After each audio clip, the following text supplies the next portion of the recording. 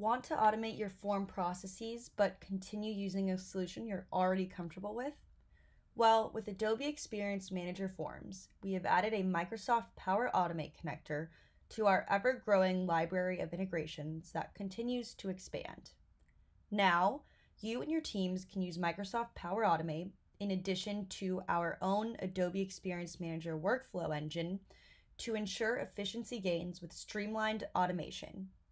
This connector allows you the flexibility of choices for your workflows so your organization can choose how you want to automate your business processes. Let's see it in action. First, we'll see how internally John, a forms developer, and Camilla, a customer experience lead, work together to utilize this connector. Here is a view into the Microsoft Power Automate flow that John created to govern the review of their weekend themed credit card application.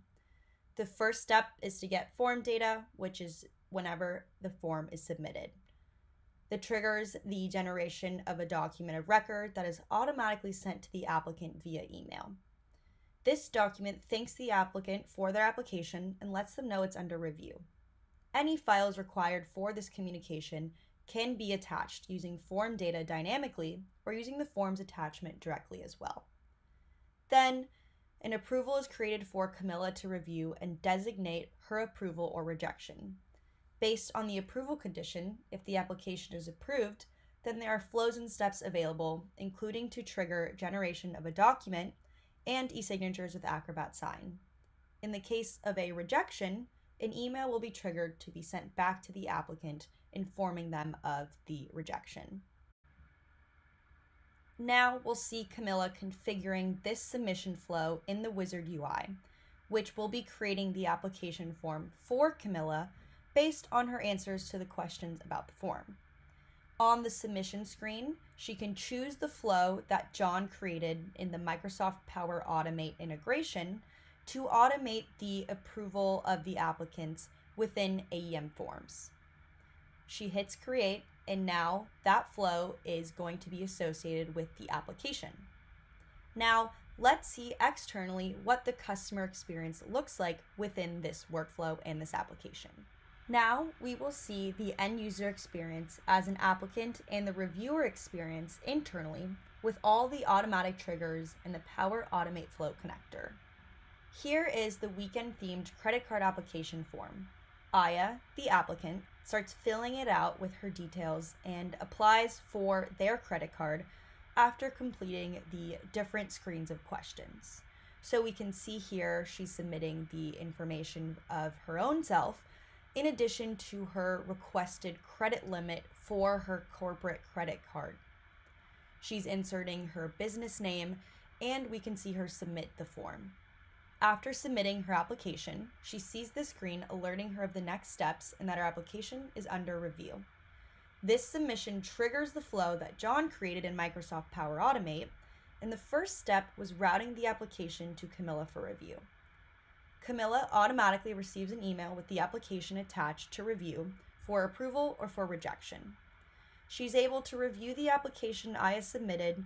She scrolls down through the fields that Aya completed. She navigates down to the credit limit request. She views that Aya has included the credit limit and is okay with the overall application in Aya's data.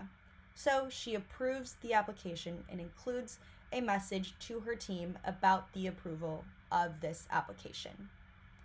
Now, by submitting that, it triggers the next step of the Power Automate workflow, which was to send an email to the applicant. So, switching into Aya's view, she checks her email and sees that she received an email letting her know that she has been approved and that her signature is needed on the application. Aya clicks into the link and is presented with this intuitive Acrobat sign interface, where she reviews and signs electronically, easily and simply. In these clips, we saw how simple it is to use Adobe Experience Manager Forms connector to Microsoft Power Automate. We saw internally how to create and use the flow with forms created in AEM, and then saw the streamlined and guided experience that it created with the applicant and the internal reviewer. Create intuitive and automated end to end digital enrollment experiences for your external users and your internal practitioners with Adobe Experience Manager Forms and Microsoft Power Automate.